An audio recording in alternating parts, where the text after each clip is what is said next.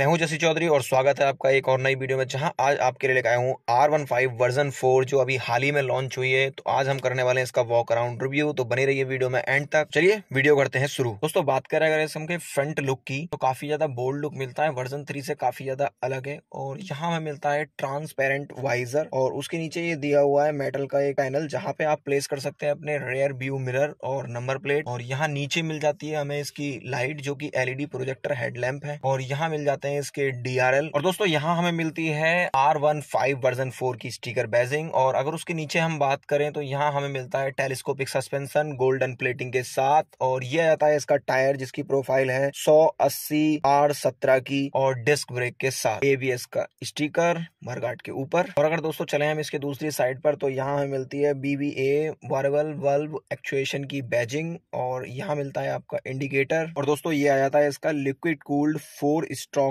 S O H C four valve engine 155 CC के साथ, जो प्रोवाइड करता है आपको 18.4 पीएस की पावर और इसी पर हमें मिलती है यामाहा की बैजिंग और नीचे इसके प्लास्टिक कवर पर मिलती है हमें यामाहा की स्टिकर बैजिंग और यहीं से थोड़ा सा आगे बढ़ते हैं तो यहाँ आपको मिलते हैं मेटल फुटरेस्ट मेटल में आपको ब्रेक पेडल मिलता है, और ये इसका रेयर टायर है, जहाँ आपको मिलता है डिस्क और इसकी प्रोफ़ाइल है हंड्रेड सेवेंटी आर सेवनटीन का। दोस्तों, बात करें अगर इसके बैक लुक की तो यहाँ हमें मिलती है एलईडी टेल लैम्प इंडिकेटर और रिफ्लेक्टर और दोस्तों, अगर बात करें हम इसकी सीट की तो काफ़ी ज़्यादा स्पोर्टी लुक देती है। स्प्लिट सीट आपको ऑप्शन मिलता है आर वर्जन फोर में और उसी के नीचे हमें देखने को मिलता है गेयर शिफ्टर जो की मेटल में है। और अगर बात करें हम इसके फ्यूल टैंक की तो वो हमें मिलता है ग्यारह लीटर में। यही फ्यूल टैंक पर दोस्तों हमें मिलती है यामाहा मोटरसाइकिल कनेक्ट की स्टीकर बैजिंग और उसके बराबर में अगर बात करें हम हैंडल की तो यहाँ हमें मिलता है किल स्विच जो की स्टार्ट और स्टॉप दोनों के लिए एक ही दिया हुआ है। यहाँ नीचे हमें मिलता है हेजार्ड लैम्प का बटन और उसके नीचे आता है आपका इंस्ट्रूमेंट क्लस्टर का ऑप्शन बटन जिसमें आप ट्रिप वगैरह सेट कर सकते हैं। दोस्तों, आप देखते हैं इसका इंस्ट्रूमेंट क्लिस्टर। यहाँ हमें मिलता है, सबसे ऊपर आरपीएम मीटर दिखाता है, उसके नीचे स्पीडोमीटर आ जाता है और यहाँ आपको मिलती है ट्रिप और उसके नीचे हमें देखने को मिलता है एवरेज और अगर लेफ़्ट हैंड साइड पर बात करें इसके तो यहाँ पर हमें गेयर शिफ्ट इंडिकेटर आता है। मोड दिखाता है किस मोड में आपकी गाड़ी चल रही है और सबसे लेफ़्ट साइड में आपकी